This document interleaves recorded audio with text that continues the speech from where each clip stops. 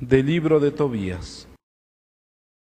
Yo, Tobit, seguí el camino del bien y de la justicia todos los días de mi vida y daba muchas limosnas a mis hermanos, los judíos que habían sido deportados junto conmigo a la ciudad de Nínive en Asiria.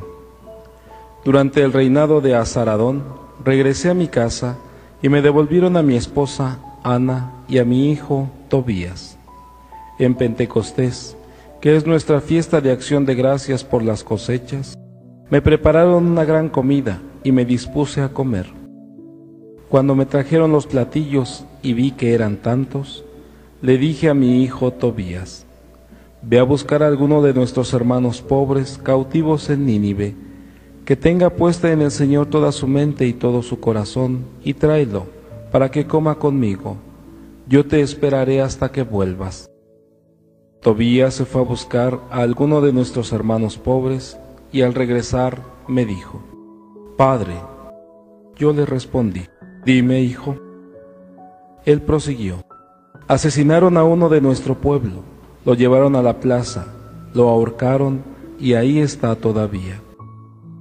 De un salto me levanté de la mesa sin probar bocado y llevé el cadáver a una casa, hasta que el sol se ocultara y lo pudiera sepultar. Volví a mi casa, me lavé y comí con lágrimas mi pan, recordando las palabras que el profeta Amós pronunció contra Betel. Todas las fiestas de ustedes se convertirán en llanto y todas sus canciones en lamentos. Y rompí a llorar. Cuando el sol se metió, fui, cavé una fosa y lo enterré. Mis vecinos se burlaban de mí y me decían, este hombre nunca va a escarmentar. Ya una vez lo condenaron a muerte por este mismo delito, pero se escapó, y ahora sigue enterrando a los muertos. Dichoso quien teme al Señor. Dichoso quien teme al Señor, y ama de corazón sus mandatos. Su linaje será poderoso en la tierra, la descendencia del justo será bendita. Dichoso quien teme al Señor. En su casa habrá riquezas y abundancia, su caridad es constante, sin falta. En las tinieblas brilla como una luz, el que es justo, clemente y compasivo. Dichoso quien teme al Señor. Dichoso el que se apiada y presta, y administra rectamente sus asuntos.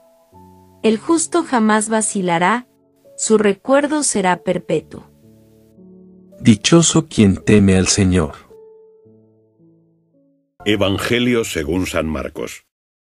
En aquel tiempo tomó Jesús de nuevo la palabra y comenzó a hablarles en parábolas, los príncipes de los sacerdotes y los ancianos del pueblo, diciendo, Un hombre plantó un viñedo, lo cercó con un muro, cavó un hoyo para extraer el jugo de las uvas y construyó una torre de vigilancia. Luego les alquiló el viñedo a unos agricultores arrendatarios y se mudó a otro país. Llegado el tiempo de la cosecha de la uva, envió a uno de sus siervos para recoger su parte de la cosecha.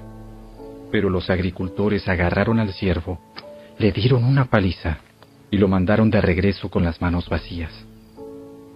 Entonces el dueño envió a otro siervo, pero le insultaron y le pegaron en la cabeza. Al próximo siervo que envió, lo mataron. Envió a otros. A unos los golpearon y a otros los mataron, hasta que le quedó solo uno, su hijo, a quien amaba profundamente.